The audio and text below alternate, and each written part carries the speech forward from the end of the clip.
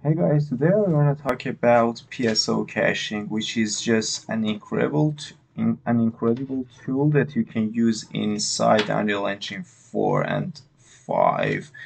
Um, which, I mean, whatever version that you're using, it's going to be different for you. This video is specifically for version 4.27. Yeah, so 4.26 will be different, 4.27 will be different, and version 5 is definitely different. Um, I've gathered some links around here that I'm gonna post them. Um, I'm gonna paste all of them into the caption under the video so you could, uh, based on the version that you're using, you can either go ahead with the version 5 or 4.26. In this video specifically, we're going to talk about 4.27. Um, so the first thing that we are going to go, just go to this link, unrealgamedev.org, post PSO caching Unreal Engine 4. Um, so let's go ahead step by step. So these two are the things that you have that you need to have already checked every time that you want to package the game. So we're just going to make sure that these two are checked. Share material, shader codes, share material, native libraries, both are checked. Um, yeah. Um, this picture is old, by the way. So the next one is um, go to your project config android android engine.ini, which in your case you um, I think you won't have it let's go to config and Android. Yeah, you don't even have the Android Android engine.ini.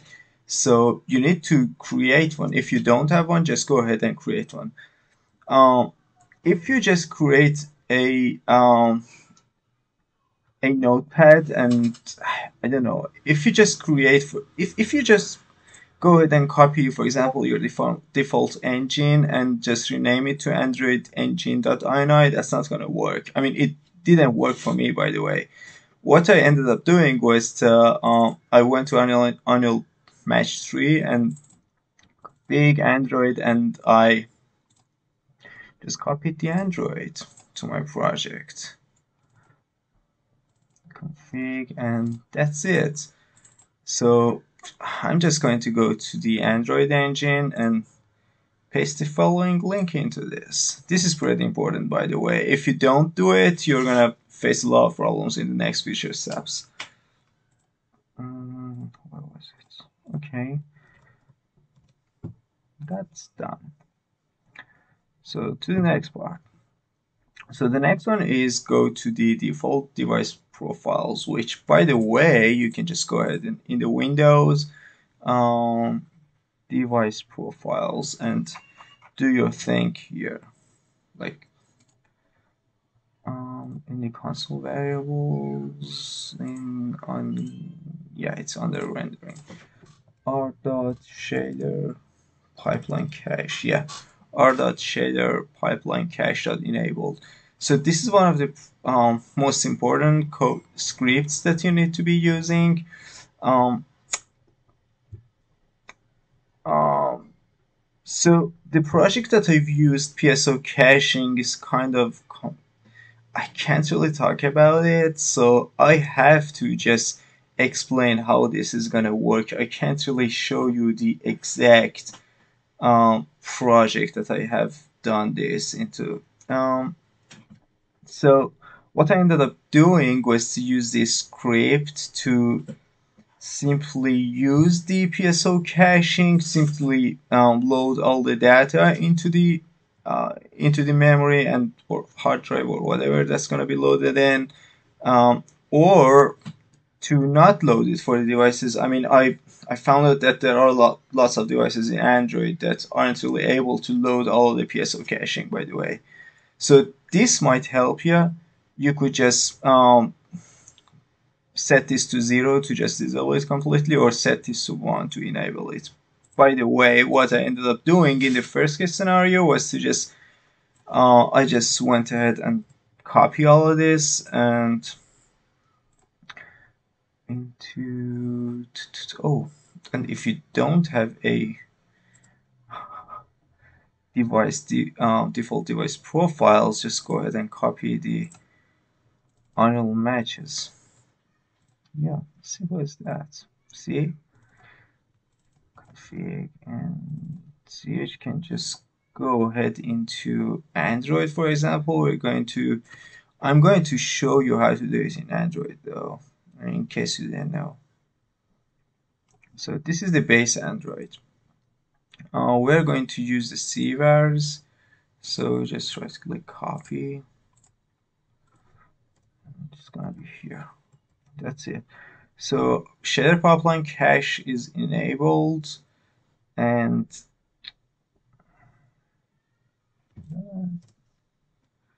shader pipeline cache startup mode is set to 1 which is which means that it's set to fast mode by setting it to 2 uh, it will be set to background mode. And 0 means that is paused which you can find out in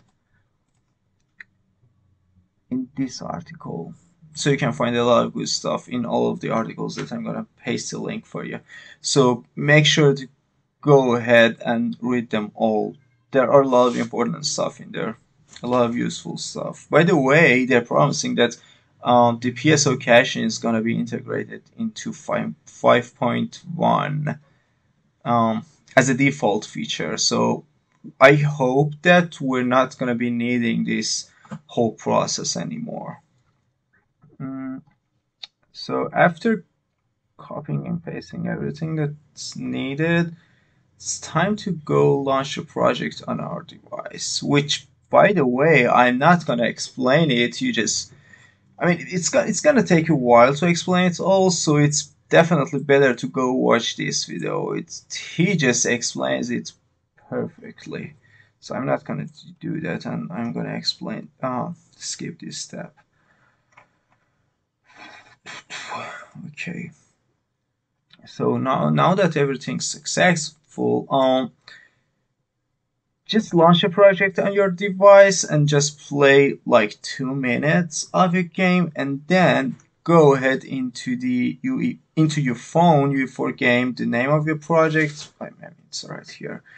Make sure that you have this file created here. If it's not there then you have a problem. You either haven't set up um, this correctly or this one. So, I mean, the way I've done it is the way I've explained it to you, right? Um, so you, you, I mean, I'm hoping that you're not facing any issues, but if you did, I mean, it's just bad luck, right? It's probably this one or this one. So try other options. I really don't know. It's really complicated. Um, so if you have the file here, then everything's fine. You can just go ahead and play the rest of the game. And if the game's really large, then split it to, I mean, some sessions. You don't really need to play the whole game in one session. That's one thing to mention. Um, now that you've created everything, you can just go ahead in the in this video. He just explains explains everything pretty well or in this article or if you want to learn a lot of other things this article is really detailed. But shortly there's just this uh, there are two type of files. One is the files that um, you're gonna pull from the uh, from the folder inside your mobile folder or, whatever that is. And the other part um, the other type of file is um, the shaders, the CSV files that you're gonna pull from the from the cooked folder. So every time you cook the project, it's gonna put these files into that metadata pipeline caches. If you're not having this folder too, it's probably coming from the one of these two. It's, it's, it's coming definitely from this. So there's definitely something wrong with the with this folder.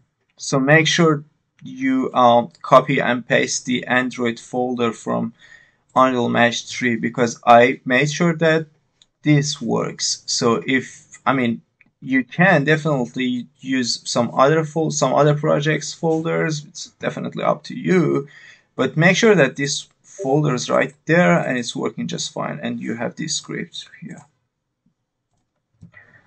Um, let's see, it's still recording. That's fine. Um, so you have the um, the CSV files and let's see if it's CSV. Okay, so here comes the other issue. So in the documentation, you're not seeing any CSV files.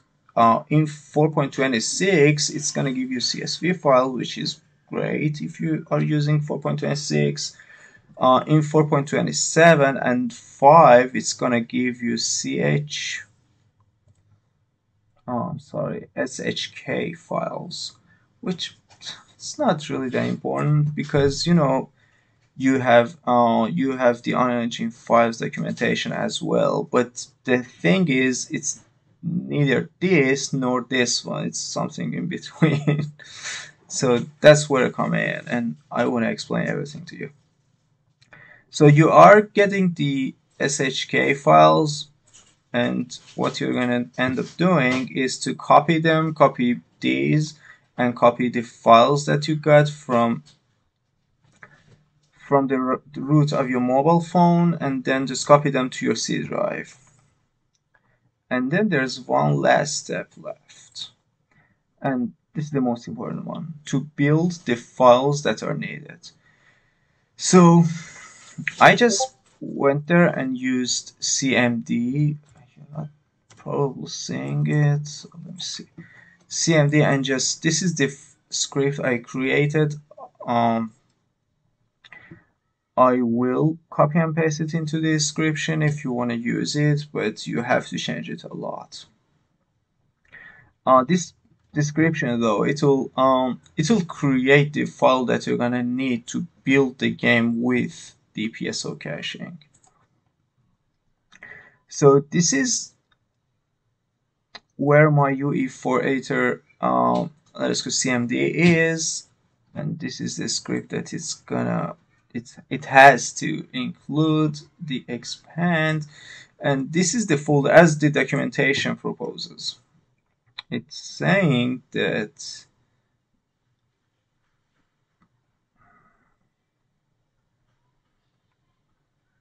put them in your PSO caching folder in your C drive.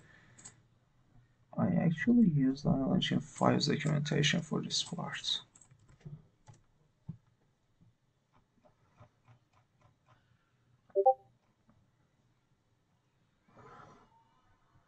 yeah to um, create a PSO cache and uh, include the files in the PSO cache.